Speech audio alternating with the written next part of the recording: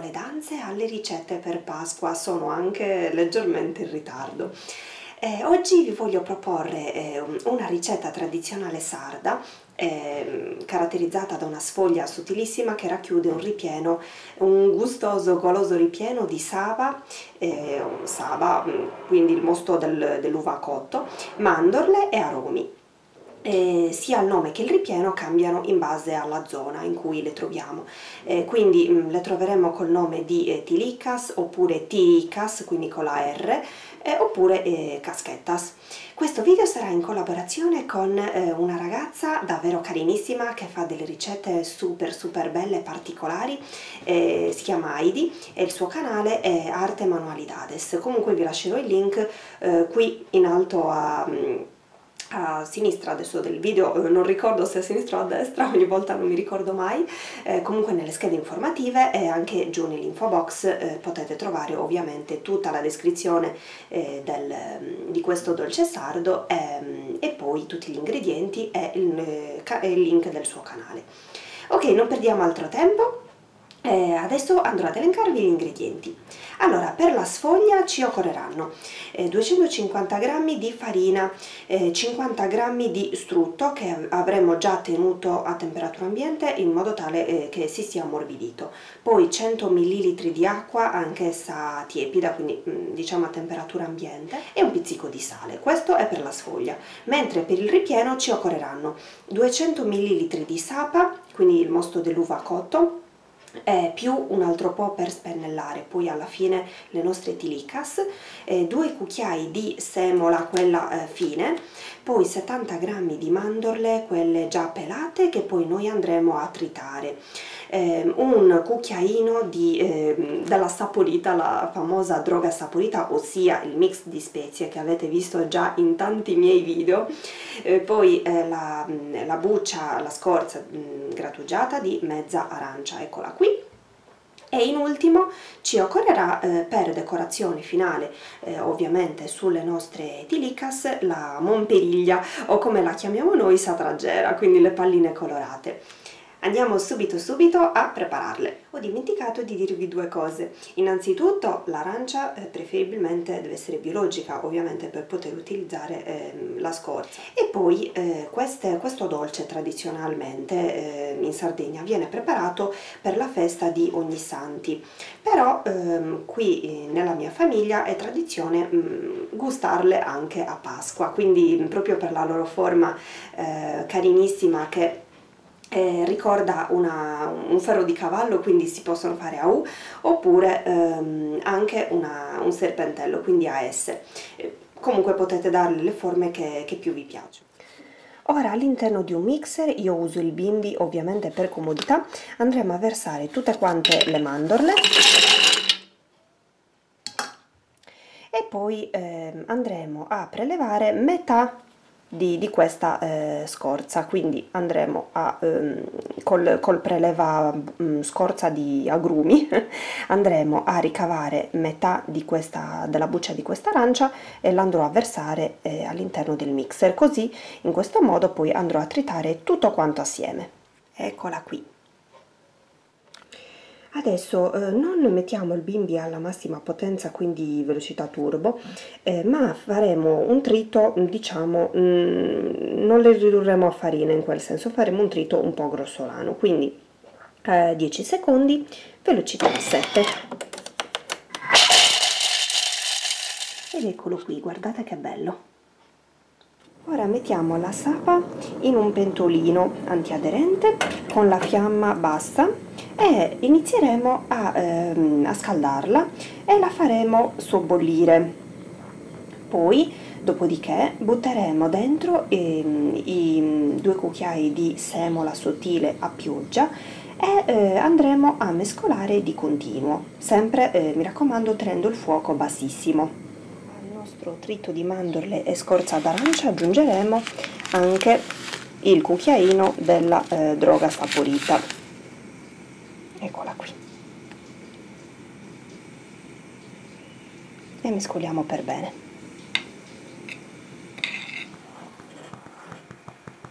Versiamo il semolino a pioggia. E mescoliamo sempre senza fermarci.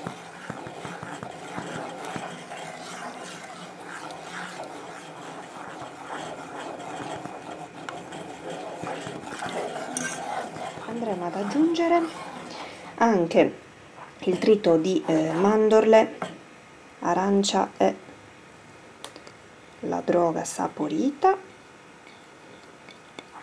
E continuiamo a mescolare.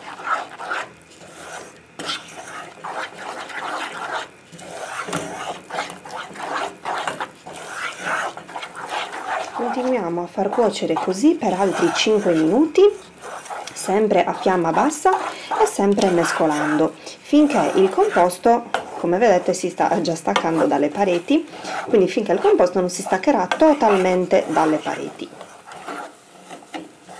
Ok vi mostro come il composto si è eh, staccato e si sta staccando totalmente dal tegame vedete?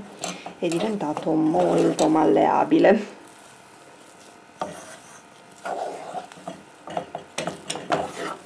A questo punto possiamo spegnere il fuoco e lo mettiamo ad una parte, lo trasferiamo eh, in un piatto in ceramica o insomma in un altro recipiente come preferite e eh, lo lasciamo eh, sfreddare così a temperatura ambiente.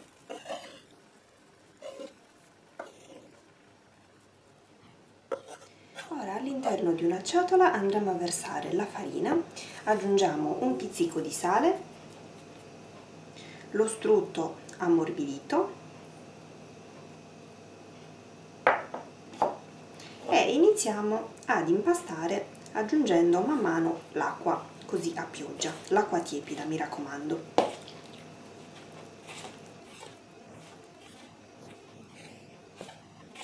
Si deve creare un bel panetto.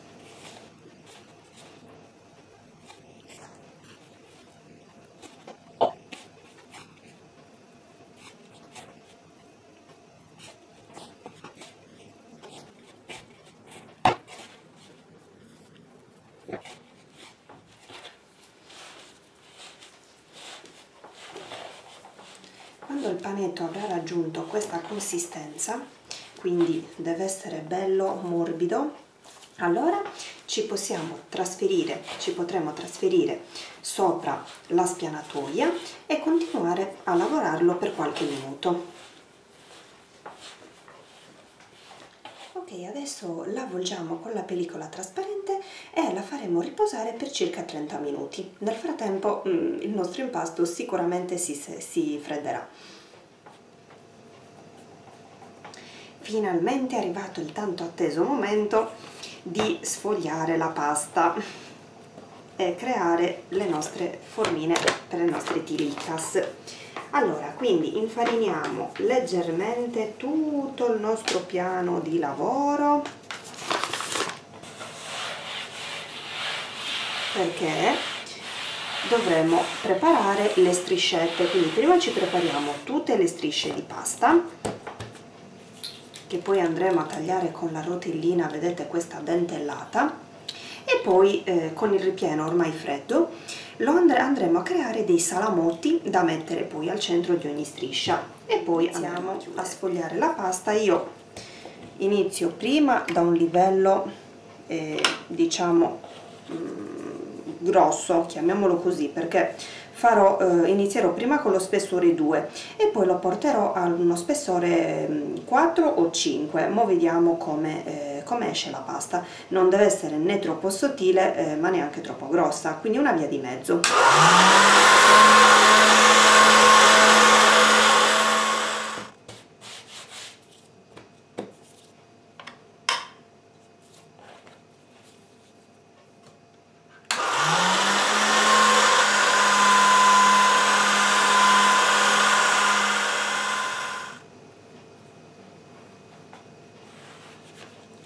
ve la, ve la mostro così guardate. Questo è a livello vediamo se, se riesco a farvela vedere bene. Eh, non so se riuscite a vedere lo spessore. Questo è il livello 4 della mia eh, macchina da, che serve ovviamente per sfogliare. Quindi la portiamo a 5 adesso e sfogliamo a 5 quindi di metro e andremo a creare tutte le nostre striscioline per, per essere ovviamente più precisi. Quindi sappiamo che il, i nostri cestinetti dovranno avere la lunghezza di 12 cm quindi creiamo i, le divisioni a 12 cm per volta ok? E poi dovranno essere alte eh, giusto giusto guardate.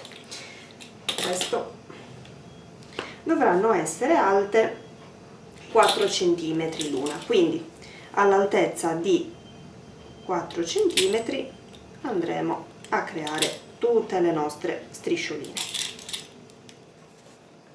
Adesso dopo esserci preparati un paio di striscioline prendiamo, preleviamo una parte di impasto, vedete che non si appiccica alle mani, comunque se dovesse capitare ce le infariniamo leggermente e iniziamo a, ad arrotolare su se stesso un eh, sal, eh, salsicciottino, chiamiamolo così, di eh, impasto.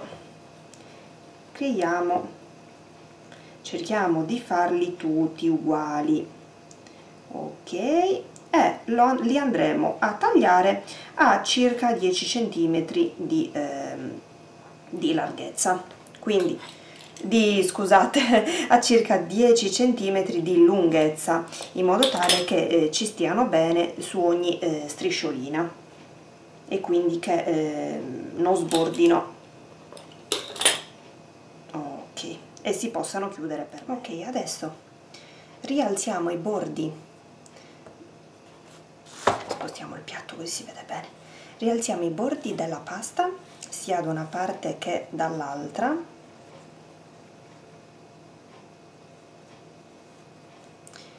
chiudiamo ai lati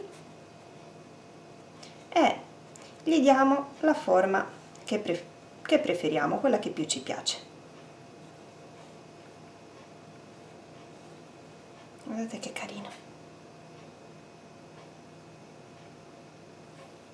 Questa io l'ho voluta fare a forma di S. Quindi vedete eh, qua all'estremità devono essere chiusi chiuse per bene le due estremità della pasta. E eh, il ripieno si deve appena intravedere dalla, che esce fuori dalla, dalla pasta. Ed eccole qui le nostre tilicas pronte per essere infornate. Dopo averle disposte sulla eh, carda del forno le inforneremo in forno già caldo eh, a 160 eh, gradi e le faremo cuocere per circa 10-15 minuti perché in realtà il ripieno è già cotto quindi praticamente deve cuocere solo la pasta. Per cui eh, come noi vediamo che diventa di un bel colore ambrato allora li sforneremo. La pasta che non abbiamo utilizzato quindi quella che è avanzata eh, dai ritagli della, mm, della pasta eh, la, la, possiamo tranquillamente avvolgere con la pellicola trasparente proprio così eh, a forma di, di, pallina e la possiamo congelare e quindi poi utilizzare all'occorrenza quando ci occorrerà. Ed ecco qui le nostre tilicas appena sfornate. Adesso con un pennellino, la punta proprio e eh, poco poco sapa, andremo a eh, spennellare facendo attenzione a non sporcare la pasta.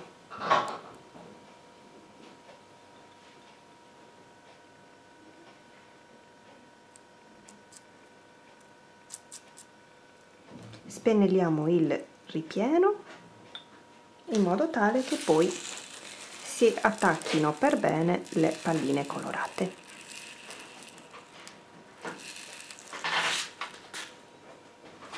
e quindi con molta pazienza faremo lo stesso procedimento per tutte quante. Ecco qui le nostre meravigliose ed eleganti tilicas pronte. Guardate quanto sono belle. Immaginatevi che bella figura che fanno sulla tavola di Pasqua. E poi realizzarle non è neanche così tanto difficile.